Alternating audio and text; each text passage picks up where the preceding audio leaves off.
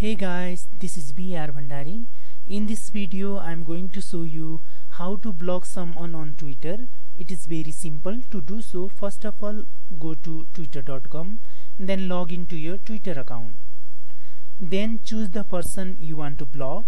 You can choose the person from following by clicking here and you can also choose the person from followers and you can also choose the person from here first of all choose the person you want to block.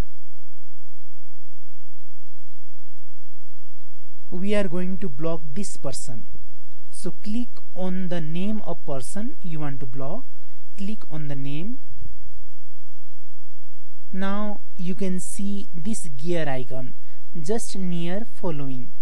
Click on this gear icon. Then click on block